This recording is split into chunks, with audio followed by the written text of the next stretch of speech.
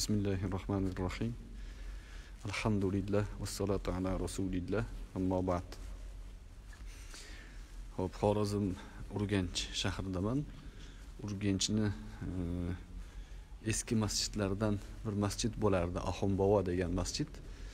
Bu masjid e, bir yil oldin e, janob prezidentimiz tomonidan e, kelib birinchi g'ish qo'yilgan edi. Avval ruxsati ma'nosida qayta qurish ma'nosida e, ruxsat bo'lmay turgan masjidlardan edi. Keyin bu e, ish oldinga siljib prezidentni qo'ygan g'ishtidan keyin dastlab 500 millioncha pul ajratilgan ekan. Keyin yana qo'shimcha qo'shilgan shekilli va e, shu avgust oyida ya'ni 2018 yil avgust oyida masjid ochilgan. Masjidni judayam chiroyli saviyada mana e, qilingan ekan bu mehrob. E, mehrob e, bu minbar. Masjid hozir masjidni qurilish uslubi meni ko'zimga shahar toshkentdagi minor masjidini uslubiga o'xshab qurilgan. Keng shinam yorug' tepada anaqalarini e, ko'rsatay. Shunaqa holatda qilingan masjidni umumiy foni mana ko'rsatay sizlarga. E, birodarlar peshin o'qishyapti. Tashqarisiga ham chiqib ko'rsataman hozir. Tahoratxonalarni ham judayam chiroyli qilingan deyishyapti. E, ochilishiga e, juda katta tantana bilan ochilgan. Eski qadimgi masjid man bu masjidda xatimlarda bo'lganman. Avval kelib ishlab yurgan paytimda juda eski edi. Alhamdulillah judayam chiroyli judayam ajoyib saviyada bitirilibdi mana kiraverishga unga o'xshagan bir joy qilingan. Ikkita mushtda eshikdan kirib kelinar ekan xullas. Oynalar qo'yilgan bu yoqqa. Mana bu hovlisi. Hovliga hozir chiqib ko'rsataman. Hovli e, qurilish ko'rinishi. O'sha bizni e, yuqorida aytganim minor masjidimiz uslubida qurilgan. Eshiklar ham juda chiroyli qilingan. Eshiklarni e, sifat bilan ishlangan eshiklar. Bu oyoq kiyim yechadigan joy ekan. Tashqariga chiqyapman. Hovliga chiqdik. Hovlida o'sha malika tomondan kelib kirib kelganingizda malika tomondan kiradigan eshikdan ya'ni o'sha minorda kirib o'ng tomonga yurganingizda masjid bo'lardi. Xuddi shunaqa qilingan mana. Ko'rgan odam bilmagan odam bu minorda o'ylaydi. Minorda xuddi shu uslub bor. Hovli o'rtada daraxt bor bu yoqlari atroflari ganchkorlik ya'ni o'ymakorlik bilan ishlangan. Yog'ochdan masjid xorazmning xorazmdagi urganch shahridagi oxunbobo masjidi. Assalomu alaykum xorazmlik do'stlarimiz kirib ketishyapti. Kirib chiqdik biz sizlar o'qib chiqinglar Э, masjidni qurilishiga aniq qancha ketganini bolalardan so'radim. Ular o'sha boshida 500 million berilgani haqida bor ekan informatsiya. Undan keyin yana ketgan shekilli chunki ko'proq qimmatroq miqdorda pul ketmasa bunaqa qilish qiyin. Ya'ni e, masjidga juda ulkan saviyada e'tibor qaratilgan. Alhamdulillahi robbil alamin. Urganchga munosib bir masjidlardan biri bo'lgan. Minorani ham ko'rsatay. Ko'rindimi minora? Minora. Minorani bunaqacha ko'rsataman.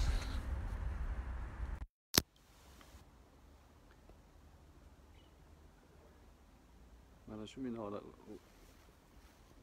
oftob tushganligi yaxshi ko'rinmayapti. Shekilli.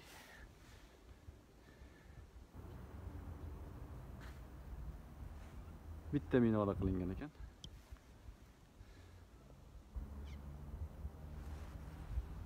hop O'rtadan kirishi mana o'sha minora o'rtadan kirishiga o'xshaydi. Biroz minordan kichikroq ko'rinishi menimcha. Hovlisi kattaroq menimcha. Minora hovlisidan hovlisi kattaroq. O'zi kichikroq shekilli. buyog'i ikkinchi tomon. Bu vakillik o'tiradigan joy bo'lardi o'sha vakillik o'tiradigan joyga o'xshatishgan. Xullas bu ham musulmonlarning qalbini ko'nglini xushnud qiladigan hodisa. Shuning uchun bu xursandchilikni baham ko'ray dedim. Alloh taolo bu millatni e, qadimda erishgan yutuqlari qadimda butun e, dunyoni ma'rifat suvi bilan sug'organ bu millat inshaalloh kelajakda yana o'sha oqqan joydan yana qaytadan oqishidan umidvormiz. Endi jonli muloqotlarimizda mulohazalar ba'zi masalalarga munosabatlar bildirib ketyapman. E, savol javoblar ichida trollarni gaplari hammamizga ma'lum. Trollar har xil trolling ishlarini qilib yurishibdi. Lekin mandan munosabat so'rayotgan yaxshi samimiy xolis do'stlarimiz ham bor. Yaqinda bir ko'rsatuv bo'libdi man ko'rganim yo'q. U yoq bu yoqdan kesib kesib jo'natishyapti. Bu ko'rsatuvda e, ba'zi chetdagi ahli ilmlarga nisbatan munosabat e, salbiy munosabatlar bo'libdi uni man avvalroq ba'zi e, suhbatlarimda ogohlantirish ma'nosida aytgan edim. E, diniy qo'mita tomonidan shunaqa narsalar ekspertiza malakalanishligi to'g'risida aytgan edim. Bu o'zimizni xalqimiz chetdan kelayotgan musulmon musofir birodarlarimizga bir ma'noda foydali informatsiya ehtiyot bo'lish kerak. Baribir nima bo'lgan taqdirda ham. Chunki u jinoiy malakalanishligi bor gap o'sha ma'noda ehtiyot bo'lish kerak. Endi abdulloh domla haqida so'rashyapti. Abdulloh domla bilan ko'rishmaganman gaplashmaganman. Suhbatlarini man e, va tafsil ma'noda eshitmaganman. E, lekin ba'zilarni e, guvohligi bo'yicha ahli ilm yaxshi insonlardan deb bilaman. U kishiga nisbatan ham bizda taqiq bor ekan demak baribir nima bo'lganda ham u taqiqqa amal qilish kerak ehtiyot bo'lish kerak. Ertaga mana taqiq bor edi e, sizlarga nisbatan ogohlantirgan edik deb e, zararga ko'ra bila turib kirishmaslik kerak. Lekin boshqalari to'g'risida e, aksariga man qo'shilaman noto'g'ri ta'limot noto'g'ri targ'ibotni berib yurgan edi. Alloh rahmat qilsin o'tib ketdi lekin abdulloh buxoriy degan mm, u odam islom ummatiga zarardan boshqa narsa keltirgani yo'q. Musulmonlar orasiga ixtilofdan boshqa narsa kirgizgani yo'q. O'zining atrofida yig'ilgan shogirdlariga nafratdan boshqa narsa o'rgatgani yo'q. Xalqidan nafratlanadigan millatidan nafratlanadigan iloji boricha shu nafrat bilan musulmonlarga muomala qiladigan qilib qo'ydi. Katta katta ulug' zotlarni kofirga chiqarib butiydek qaradoviydek shayx muhammad sodiq muhammad yusufdek zotlarni kofir deb dajjol deb yolg'onchi kazzob deb suhbatlarni qildi. Bu mutlaq musulmonlarga zarar keltirdi. O'sha zararlardan mm, ko'z ko'ra bila turib yana zararga tushmaslik kerak. Mo'min odam bitta chuqurchoqdan ikki marta chaqilmaydi. La yaldag'ul mu'minu fi juhrin vahidin marratayni degan hadis bor. Bir mo'min bitta chuqurchadan bitta teshikdan ikki marta chaqilmaydi degan. Shuning uchun bu narsalarga ehtiyot bo'lishimiz kerak ko'zimizni ochishimiz kerak. Din shariat nuqtai nazaridan o'rganishimiz ta'limot olishimiz kerak bo'lgan o'rinlarda manbalarimiz bor hazratni kitoblari bor o'zimizda yetarli ulamolarimiz bor.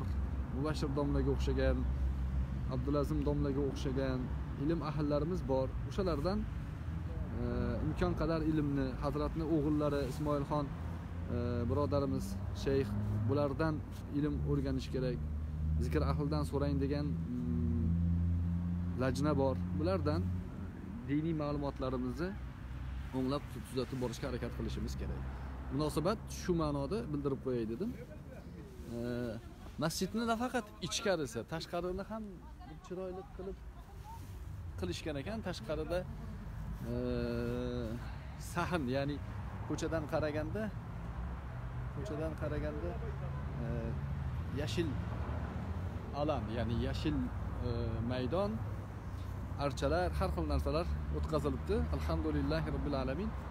E, judayam ajoyib bo'pti E, oxun bobo masjidi.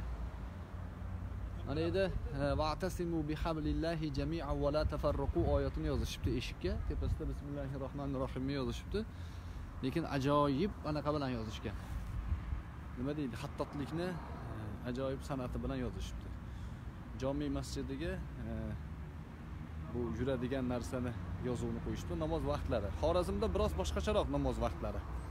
Boshqacharoqligi bomdod yetti nol nolda ekan. Bizdan yarim soat taxminan e, keyin yuradi. Peshin mana o'n uchi e, o'ttizda asr o'n beshu yigirmada e, shom o'n olti ellikda xufton sakkiz yigirmada. E'tibor bersangiz yarim soat yarim soat farqi bor ho'p munosabatni ham bildirdim. Yana hali aytgan gapim. Ya'ni ya'ni millatini e, yomonlayotgan millatga nisbatan obro'sizlantirishga urinayotgan odamlarni gapiga uchmanglar. Bu o'zbek millati e, o'zini ulamolarini qadriga yetmaydi degan gaplarga aldanmanglar. Unaqa gap yo'q. Ulamolarimiz ulamolarimiz e, ga hurmat e'tibor ma'nosida bu millat boshqa millatlardan ko'ra ko'proq sharaf keltirgan ulamolarni hurmat qilgan ularga o'zi yemay yedirgan o'zi ichmay ichirgan o'zi joysiz qolsa ham joy qilib bergan millat bu millat. Bu millatni obro'sizlantirishdan nima manfaat ko'ryapti bular? Bu millatga nisbatan o'zining xalqida o'zini millatini obro'sizlantirib omma oldida hammani oldida bu millatni ulamolariga qarshi qilayotgan odamlarning e, maqsadlari nima?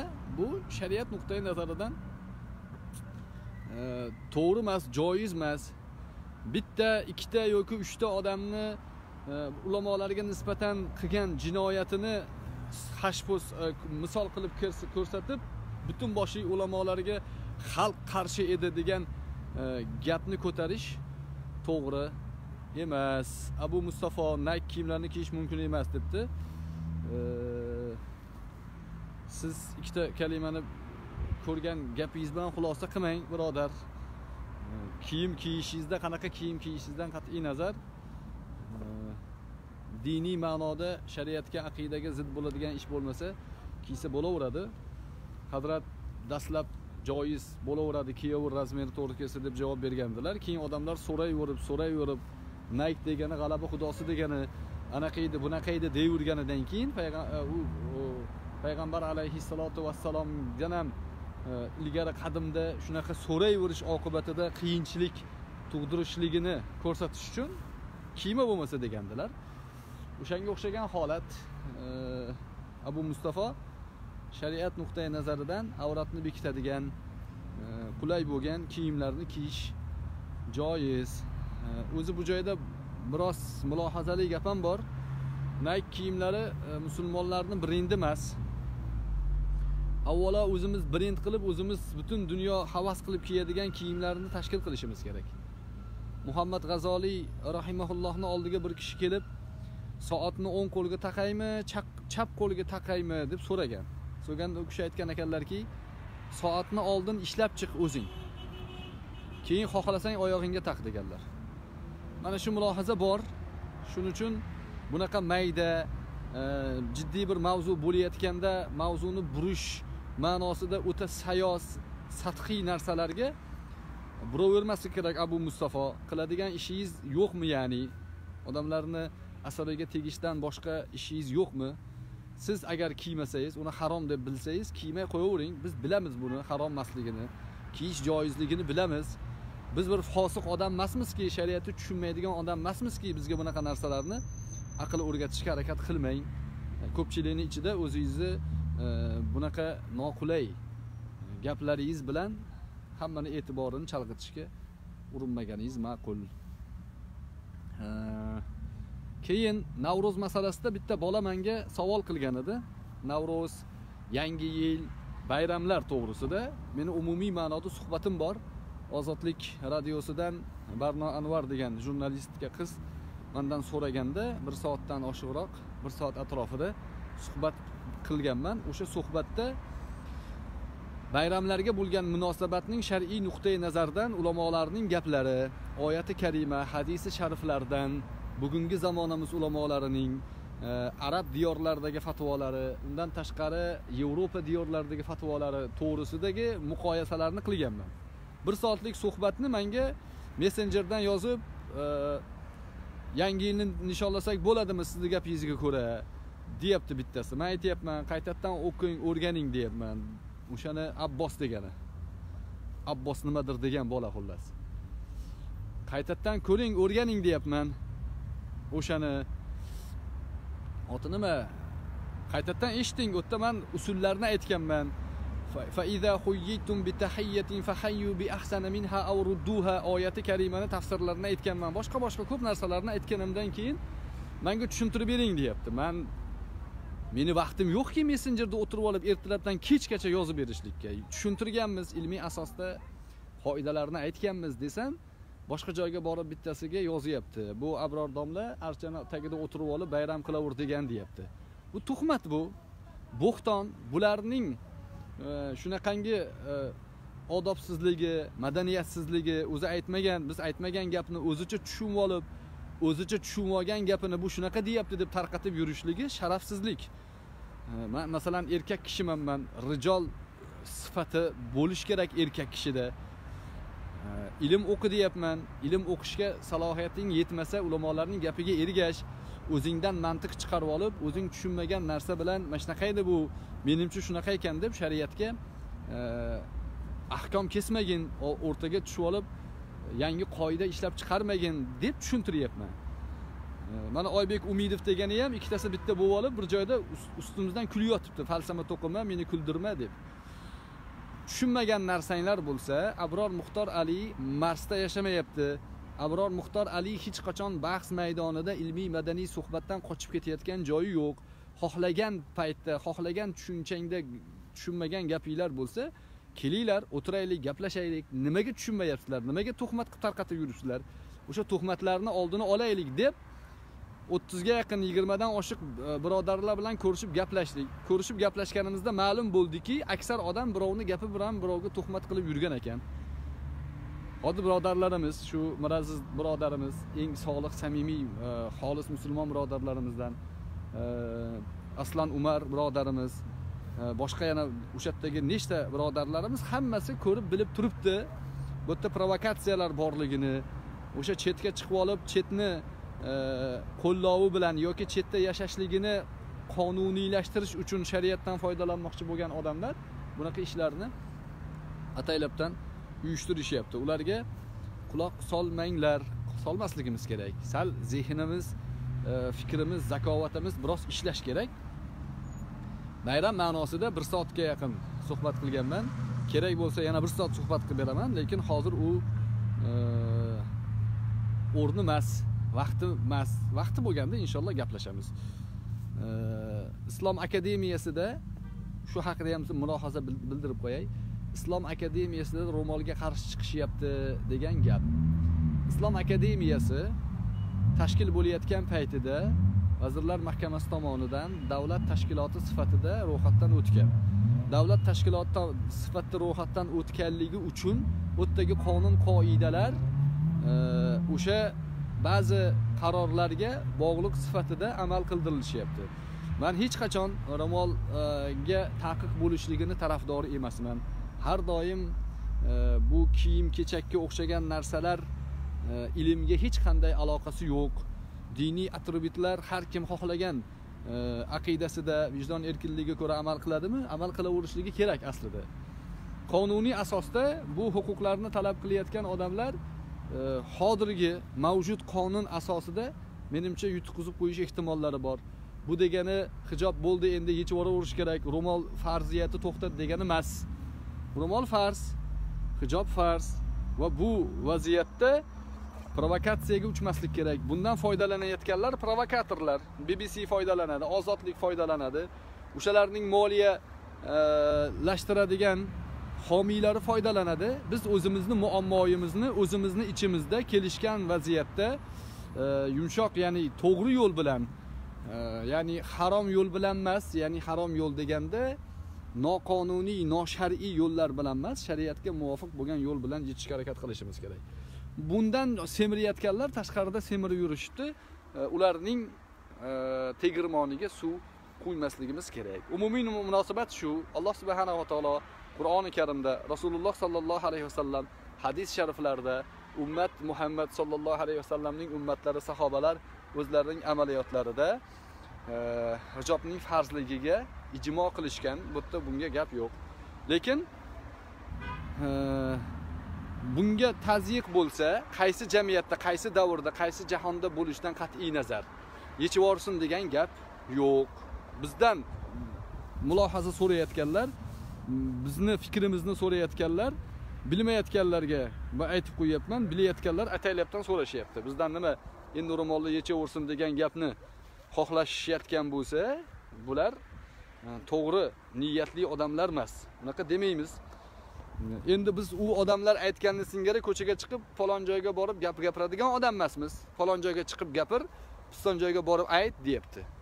U ularni aytganini qiladigan bo'lsak ulardan nima farqimiz qoladi bizni lekin biz indamay o'tirgan joyimiz yo'q. Inshaalloh qo'limizdan kelgan harakatni duoni e, maslahatni e, yo'nalishda ketyapmiz. Alloh o'zi najot bersin nusrat bersin. Inshaalloh yaxshi bo'ladi. Allohni e, qadari inshaalloh g'olib bo'ladi har doim. Inshaalloh shu g'olibiyatga tarafida turib berishimizga alloh taolo o'zi nusrat bersin. Masjidning umumiy mana bu yoqdan ya'ni kun botar tomondan ko'rinishi umumiy ma'nodagi ko'rinishi mana shu. Bitta bitta fontan qilib qo'yishibdi. Yana abbos arabiddinov degan bola yana yozyapti. Bir qat narcha yozibdi. Bu abbos arabiddinov siz iloji bo'lsa ozgina farosat olib keling. Farosat sal farosatni to'g'irlang birinchidan tuhmat qilib yuribsiz menga. Man aytmagan gapni birovlarga aytdi deb yuribsiz. Kalaka qilyapsiz masxarabozlik qilyapsiz. Musulmonmisiz? Musulmonman iymonim borman Allohdan qo'rqaman desangiz keling. Toshkentga keling man inshaalloh dushanba kuni toshkentda bo'laman alloh nasib qilsa. Keling nima savolingiz bo'lsa o'sha yerda gaplashamiz. Agar yo'q musulmon emasmanman desangiz damingizni oling. Sizga o'xshaganlardan mingta milliontasiga kuchimiz yetadi bizni inshaalloh. Chunki bu din shariat sizga o'xshagan befarosatlarga muhtoj emas. Abdulloh domla ham sizga o'xshagan befarosatlarga muhtoj emas. Ularni alloh subhanava taolo haq yo'lda to'g'ri yo'lda turar ekan inshaalloh o'zi e, to'g'ri e, natijaga olib boradi.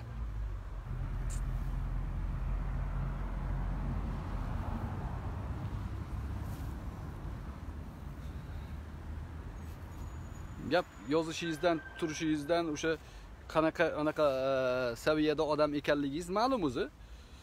O'zingizni mantiqingiz bilan man javob bermagan e, ya'ni man aytmagan gapni odamlarni ichida aytdi deb yuradigan tuhmatchi bo'xtonchi bir razil iflos odamlarni tabiati bor sizda ko'rinib turibdi. O'sha tabiatda bo'lsangiz siz e, bizni ishimizga aralashmang. Bu musulmonlar o'zini ishini hal qilib oladi.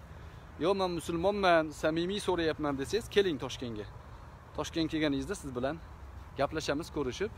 Madaniy suhbat qilamiz. Nima savolingiz bo'lsa inshaalloh yuzma yuz gaplashamiz.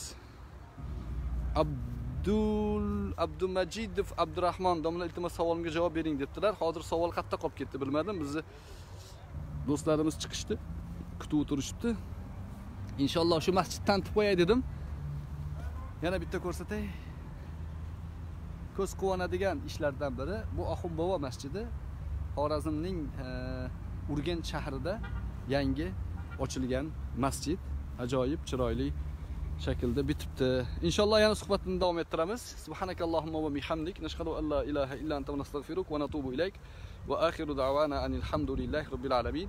Assalomu alaykum va rahmatullohi va barakatuh.